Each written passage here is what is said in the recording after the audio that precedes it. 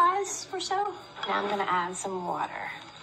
This is leftover French fries. So soup. to a cup of French fries, I did about an equal amount of water, a cup. And we're gonna boil this for a few minutes. It says three to four minutes in the recipe until the potatoes are very, very soft. And now they're not My soft. question is, so how it's been a old few is these minutes, fries? and the potatoes are now soft enough to mush with the back of a spoon. So a little bit of that.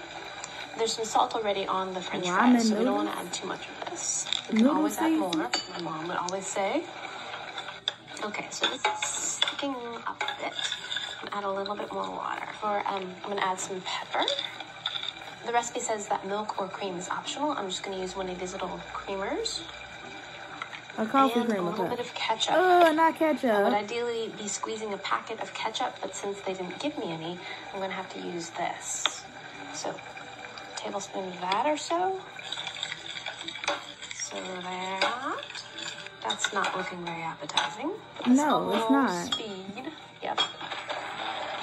Look at that. Oh, that look like applesauce. I hate applesauce so bad. A little watered down ketchup. Not watered down ketchup though. And there we have it. French fry soup. She can go to hell. That look nasty. It smells like a fast food joint. Yep. A little bit of oily, ketchupy. Ugh. That's disgusting. It doesn't look too bad though. I have to say, once it was emulsified and blended with the blender, it looked a lot more attractive. Now I've got some salt and pepper here. If I need some extra seasoning, I'm gonna put a little extra pepper right on top. Okay, let's give this a taste. Itadakimasu. That is surprisingly pleasant. Now y'all know she lying. Look at it. Look at it. Gagging. It is pretty thick. It could use a little bit of water, I think, to kind of make it a little bit soupier. But the flavor is very reminiscent of mashed potatoes.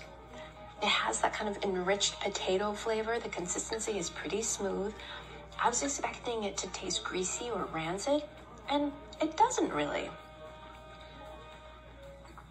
I'm kind of shocked. There's a little bit of tanginess from the ketchup. I can't really taste any of the ketchup flavor, but certainly you could adjust for that. I'm going to add a touch of salt to that. And just a touch more of the ramen seasoning. Just a touch. The way she's sprinkling this. It's so crazy. She look at her. She can't even. She can't even act like it's good. Now that I added a little bit Her more of the ramen seasoning. It reminds me of those instant soups. You know those cup of soups that you can get, but they're just basically like potato powder. It's like cream of leek soup or cream of potato soup. That's what this tastes like. There is a kind of processed flavor to this, and I think that has to do in the fact that this is made out of French fries, which are highly processed, and because it was seasoned with a ramen noodle flavoring pack, it gives it that processed flavor. I wouldn't say it's scrumptious or delicious, but it's not bad.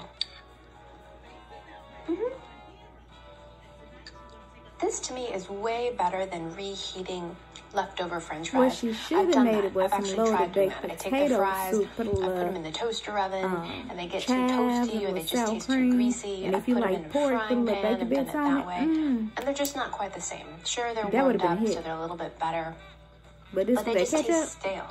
But to make them into a soup is a completely different idea and much more successful than reheating leftover fries. We made potato soup with leftover french fries, some non dairy creamer, and some ketchup.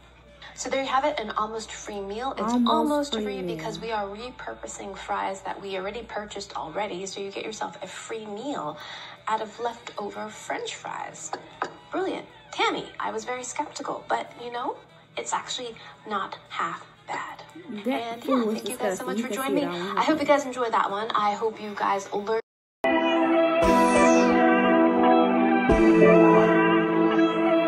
You're big time now.